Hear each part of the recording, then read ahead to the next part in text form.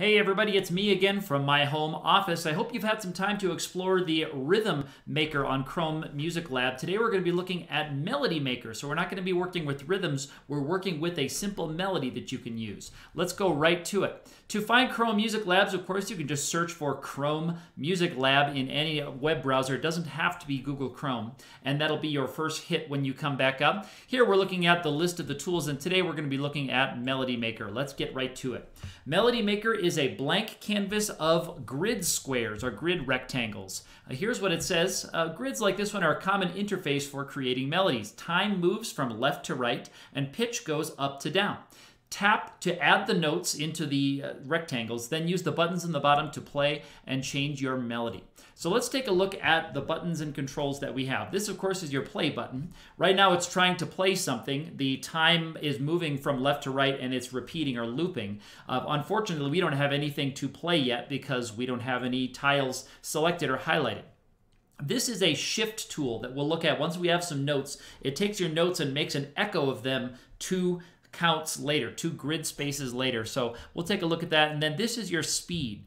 Uh, you can move the slider here to increase your speed. This is in beats per minute. Right now it's 184 beats per minute. That's pretty fast. Uh, towards the running person is faster, and then towards the walking person is slower. We're going to make it 72, so we can actually change it right there. 72 beats per minute, so you can actually watch our time is moving much more slowly across.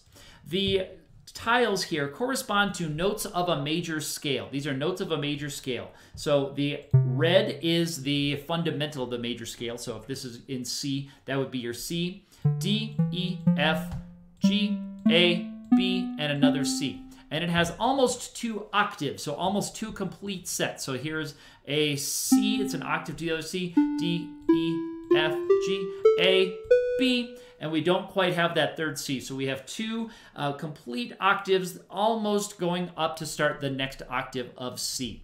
So when you click on the tiles, you can see that they're highlighted, and each color corresponds to a degree of the scale. So red is always going to be your fundamental or your C. Uh, the orange is going to be your second or your D. E, F, G, and it goes on up from there. So when you push play, it will play the melody that you have highlighted. Let's take a listen.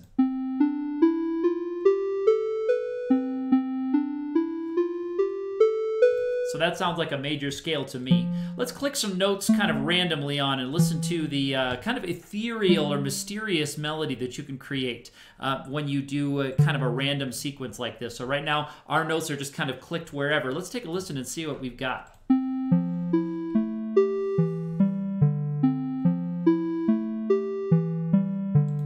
Always thought that when you have random sequences like that, you can make some kind of eerie or spooky or science fiction like creations. It's very neat. Uh, the shift tool is the last one I want to really show you here, and that just takes your notes and it shifts every note over to the right by two squares and it makes kind of an echo of itself. So you can see the gray tiles are going to play that note again. So this is a way you can get around not having your notes um, being able to stack so we can actually see our notes play.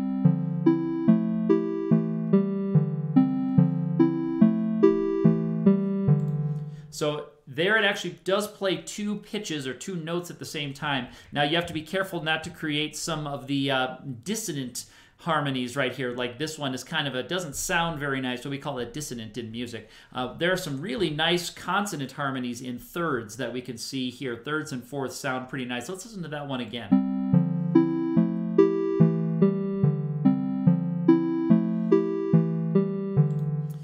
This tool, you can create all kinds of different melodies. And when you want to clear your space out, you can just click on your notes again and you can just get rid of those colored notes and their echoes. And the challenge here is to experiment until you find something that really looks neat. One more thing that we can try to do here is we can try to recreate a melody that a lot of you might already know. Let's take a listen.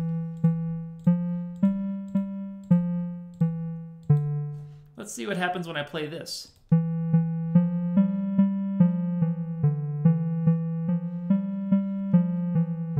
And if I had a few more grid spaces, as we'll learn when we use Songmaker, I could finish that melody out and play something that you would find probably a lot more familiar.